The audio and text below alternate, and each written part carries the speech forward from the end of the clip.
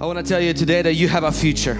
You have a destiny, you have a hope. You have a plan that God is that, that God has for you. And this plan God says that it's good for you.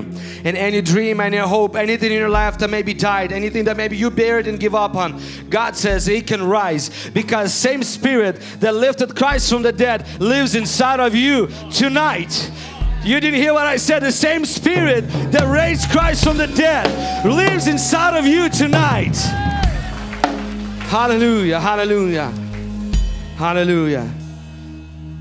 The same spirit that lifted Christ from death, that defied all the laws of physics, defied the death and everything that, that, that, that could possibly stand in the way, the same spirit that raised Christ from the dead, it lives inside of us. And if He can lift Him up from death, then He can lift up lift us up from any situation.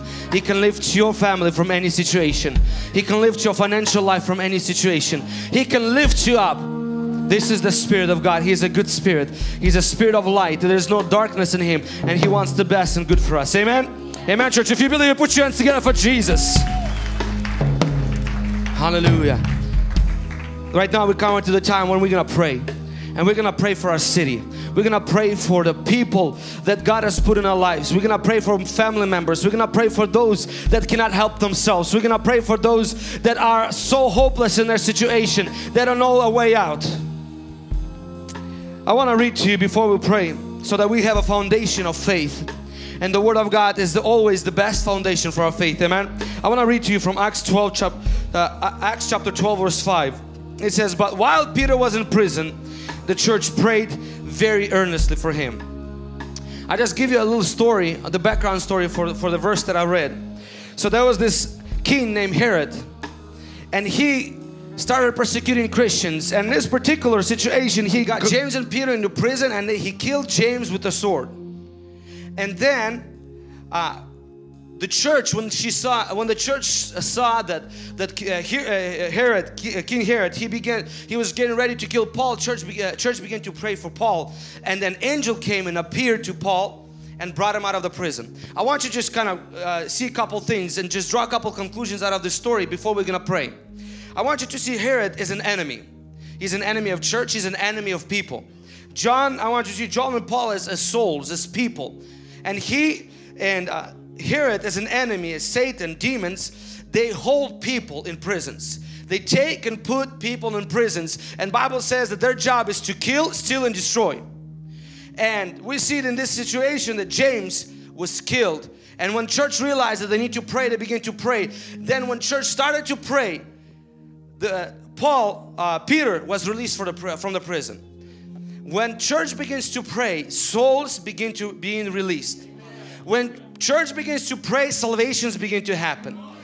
The chains begin to fall off. I want you to see one thing. When church began to pray, angel came and shone a light. I want you to see angel as the Holy Spirit. Holy Spirit comes and brings the light. Light is the salvation. Light shines into your life. The way we came to Christ, the way I came to Christ is at one point in our life, the light was shown into our life and we saw that we were in the darkness and, we, and Holy Spirit let us out. When Holy Spirit comes, number two, chains begin to fall off. We see that uh, chains of Peter, if you read it uh, further, chains fall off. Number three that happened, Holy Spirit began to lead Peter out of the prison. That speaks of strongholds in the minds of people beginning to change. People beginning to get out. They begin to like we've been talking past couple months our mind begins to get renewed. But only that happens because church in verse 5 begin to pray. So if we I want you to, to notice one thing.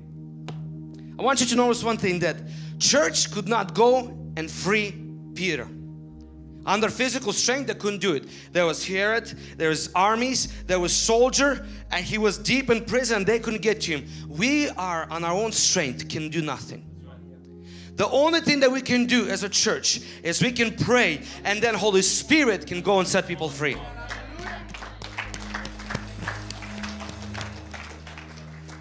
I remember a story of, of my brother if you've been coming to our church you probably heard it almost every single service. But here's hit, hit what it was. When when when my brother David and he's here now and you can see him when he got deep into drugs and when he when just devil just really binding him to the point that he got so heavy on drugs that he lost his mind. He forgot his name. He, he forgot how to read right. He forgot even how to tie a shoe. I remember a moment where we had to take, I had to take him to the court to go, he had to go face his, his fines and everything. And I had to tie his shoes because he couldn't tie his own shoes. And we talked to him. We pleaded with him. We begged him, David, stop. This is not the way to go. We asked him. Parents cried and asked him, please stop. Don't do this. Don't you see you're destroying your life? Nothing happened. Because you on your own strength can do nothing. It's true. This is why we pray. This is why we intercede. Because as though we do our job and we go witness and we go invite people, we go talk to our family members, we go try to tell them, look, this is a, there is a way out. There is a better way. There is a higher way. But at the end of the day, our efforts fall short.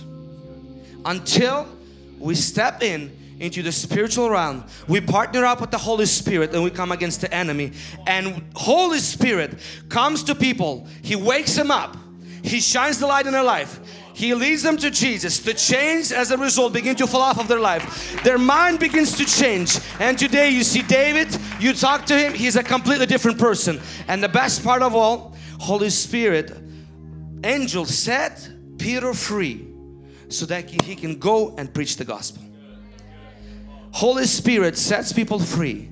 He will set our relatives, our friends, our co-workers, our, our, our, classmates, He will set them free and He will use them to save the world. And today you can see David, he's a witness for Jesus Christ. Everywhere he goes, he's in sauna, he's in a gym, he's out on the street. Every time he gets to talk to a person, he tells them what God has done in their life. And this is a result because in Acts chapter 12, verse 5, church began to pray earnestly. Church, are you ready to pray today earnestly? Are you ready to see people like David? Many people like those that those marriages that are lost in confusion and a break of divorce. Are you ready to see those, those marriages being restored? Are you ready to see those that are on their sick bed and they're facing death, ready to get up from their sick bed and come out into the light, come out of their prison? Are you ready to see drug addicts and prostitutes, those homeless and those that are just nobodies that society rejected them, come out of their prison and, and serve Jesus and preach Jesus on the streets? But it happens only if you and I take a step of faith and we begin to pray.